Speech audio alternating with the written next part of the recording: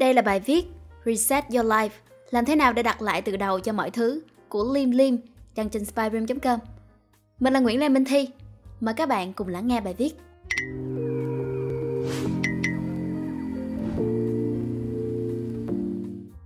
Hai phần ba một năm mới đã qua. Tôi ngồi nhìn lại cuộc đời của mình một cách chậm rãi. Chán nản, Hai từ duy nhất có thể thốt lên được để nói về cái khoảng thời gian vừa qua. Nhìn vào tình trạng hiện tại của bản thân, Chẳng khác gì một sự thất bại lớn cả. Mọi mặt đều tồi tệ, Đồ đạc thì chất đóng Thừa mứa, Sức khỏe thì giảm sút Đầu ốm liên miên, Công việc thì không thỏa mãn, Cảm thấy lạc lõng, Sinh hoạt thì bừa bãi, Thức đêm liên tục, Ăn uống không đều đặn, Khoa học. Ước mơ thì ngày càng xa Và không biết có còn động lực để chạy theo không nữa. Nếu cứ tiếp tục hiện trạng này chắc khoảng thời gian tuổi trẻ này sẽ trở thành một đống đổ nát mất thôi. Mọi thứ cứ dở dở ngang ngang, không một cái gì tới nơi tới chốn cả. Thế rồi tôi mới ước rằng nếu mình có thể làm lại cuộc đời một lần nữa thì sao? Như cái cách mà tôi vẫn hay làm với các trò chơi điện tử bằng cách xóa đi tài khoản mà tạo lại một cái mới để cày cuốc. Theo đuổi chủ nghĩa hoàn hảo đúng là đang giết chết mình rồi. Nhưng tôi vốn là vậy, không thể thay đổi được. Vốn làm cái gì cũng muốn nó thật là hoàn hảo đi không được một vết bẩn nào làm xấu đi cái tổng thể. Tôi cũng còn nhớ cái cách mà mình ngồi xem từng tấm ảnh trong album hàng ngàn tấm, ngồi đắn đo lựa ra những tấm ảnh nào hoàn hảo nhất trong hàng tá tấm chụp tương tự và xóa những tấm còn lại. Dẫu biết chỉ làm khổ mình, nhưng đó là cách tốt nhất khiến tôi thoải mái mà thôi. Vậy, giờ cũng phải làm điều tương tự với cuộc đời này. Cũng phải xóa hết toàn bộ mà bắt đầu lại với trang giấy trắng. Tôi lại nhớ về cái packing party của The Minimalist mà mình vốn hay xem.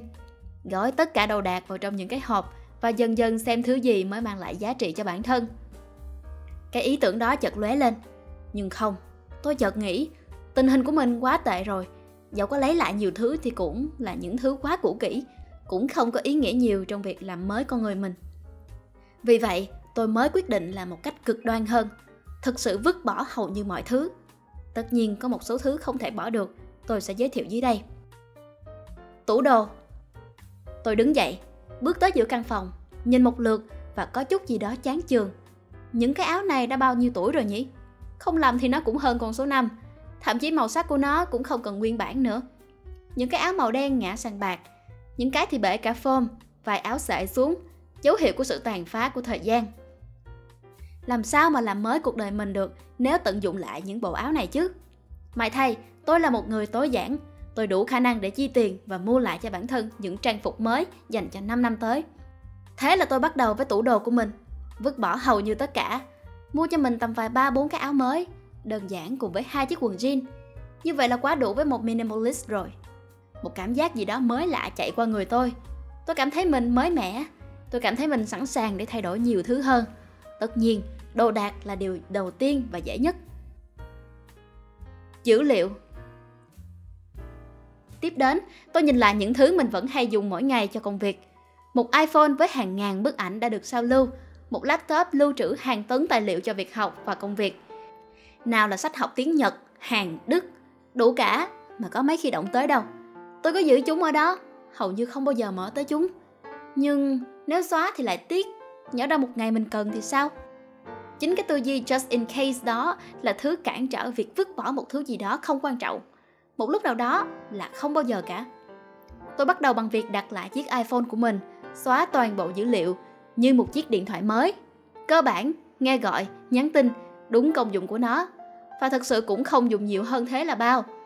Laptop của tôi thì cũng xóa mọi dữ liệu đã dùng rồi, như là những bộ sách đã đọc, những bức ảnh đã dùng trong việc thiết kế poster cho công việc chẳng hạn.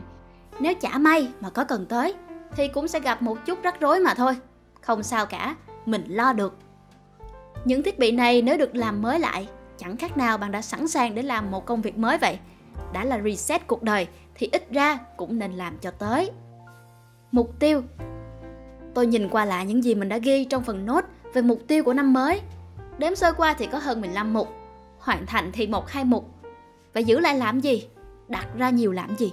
Chỉ đem lại cảm giác tội lỗi cho bản thân vì đã không làm được mà thôi.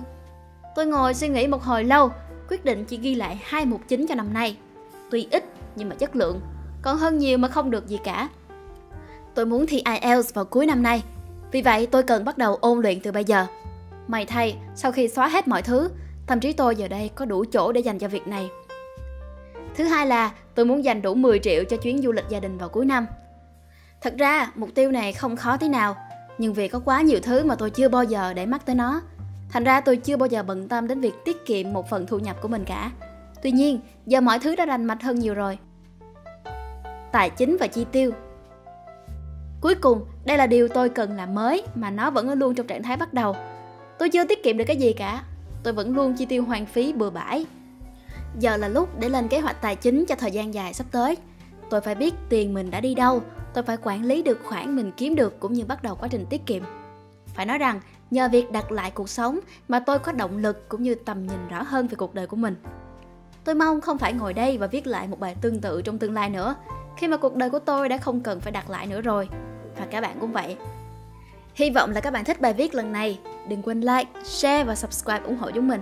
Và nếu như các bạn thích những nội dung như trên, hãy đăng nhập vào spyroom.com để tìm đọc thêm nha. Xin chào và hẹn gặp lại. Mình là Nguyễn Lê Minh Thi.